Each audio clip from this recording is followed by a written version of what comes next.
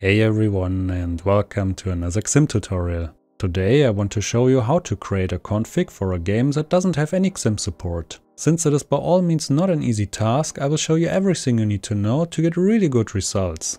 Now the first thing you should do is to expand the options in the top right of your XIM manager and click on global settings. Here you have to set your polling rate to 500 Hz. This is very important since you need to have really good micro movements when dialing in the dead zone later. Once your config is done, you can of course switch back to 1000 Hz. But for the config creation process you should only use 500 Hz. Also, your mouse should at least run on 3000 dpi or more to prevent mouse stutter. But don't use too much DPI, since that can have a negative effect on your testing results. Now once you change the polling rate, you can hit the save button in the bottom right. After that, restart your XIM so the polling rate changes will become active. Also, check your in-game settings to make sure that your controller sensitivity is set to maximum. If your game offers a dead zone setting, then it's best to keep it on default. Next, you should head into the game library of your XIM manager. Expand the options in the top right again and click on New. You will now have to find a game config with a dead zone shape that roughly matches the shape of the game you want to play. This may sound time consuming, but it really isn't, but more about that later. Now, since you obviously don't know the dead zone shape, you will have to do some testing. Load a game config of your choice and start to make circular mouse movements at medium speed. While you do that, pay attention to the crosshair in the game. The movement in the game should also look like a circle. Also, the movement has to be smooth, there should be no skipping or bouncing. If your mouse movements don't appear to be circular but elliptical, then that's no problem, you can fix that later. Now here are some tips to cut down the number of configs you have to try. First, research which game studio created your game. Maybe the XIM already supports one of the other games. In that case, you should try that config first. There's a high chance that your game uses a similar engine and lock mechanic. Another thing you can do is to use the generic config templates. You can find those by scrolling all the way down to the bottom. As you can see, there are currently 5 generic configs. Generic configs are basically a blueprint of a config. Each config uses a different dead zone shape and together they cover all of the common dead zone shapes that games are using nowadays. So there's a good chance that one of these configs will give you really good results. The alpha config for example uses a circular dead zone. I will use a generic config since the developer of the game I want to play hasn't released any other game. After testing all generic configs I went with the alpha config. The mouse movements were actually quite acceptable, although I wouldn't rate them as awesome.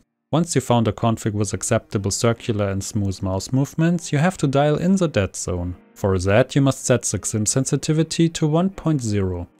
Also expand the advanced settings right below and verify that your synchronization is set to default. You can later change it to your favorite synchronization again, but for dialing in the dead zone you should use default. Now move your mouse slowly to the side while continuously increasing the boost value in your XIM manager. Go with larger boost steps in the beginning until your crosshair in the game starts to move. Once you found a value that results in an in-game movement, reduce the boost value again. You want to find the lowest boost value that still results in an in-game movement. If you watched my boost tutorial video, then you know that boost will allow you to inflate the dead zone. After some tests, a value of 925 worked really well for me. You might have to use a much higher or lower value, since every game is different. Once you dialed in the dead zone, you can change the XIM sensitivity to a normal value. I will go with 20. With that value, my in-game sensitivity feels really good.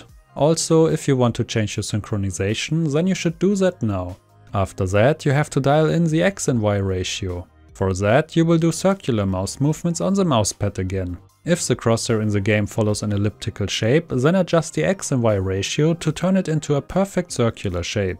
You can also make diagonal movements and check if the angle you draw with the mouse on the mousepad matches the movement angle of your crosshair in the game. A value of above 1 will make your vertical sensitivity faster and a value of below 1 will increase the horizontal sensitivity. Also, it is very important that you move your mouse at a consistent speed while doing this. Don't change the speed at which you move your mouse. Slow mouse movements are usually the best. After some tests I have settled with a ratio of 0.85. The next thing you have to do is to click on the ballistic curve generator. If you experience mouse acceleration in the game, then you can remove it with a curve. To measure acceleration, it is best to search for several fixed points in the game, which are all on a horizontal line. You can now move between those points at different speeds and check if the required distance on your mousepad always stays the same. If you do not know how to use the ballistic curve generator to achieve this, then definitely watch my ballistic curve tutorial. In that video I explain everything you need to know to pull this off. Once the acceleration is gone, you can add other advanced settings such as smoothing or steady aim. They are all optional though. I will add a little bit of smoothing to counter the minimal crosshair skipping that I have in the game. A value of 3 seems to be perfect. I will not use any other advanced settings, since none of them are really necessary. They are mainly for fine-tuning certain aiming aspects and will not have a huge influence. You can now do your button bindings at the bottom. To shorten the video, I will not do that now.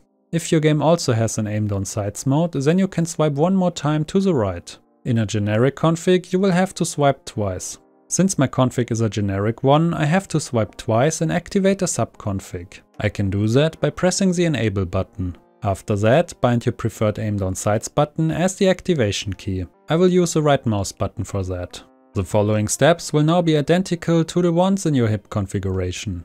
First set the sensitivity to 1 again and dial in the boost value. After that adjust the x and y ratio. At last you can remove the acceleration with a ballistic curve. I will not show this now, but the procedure is exactly the same as before. Once you have adjusted everything, your config is complete. You can click on the save button in the top left and exit your new configuration.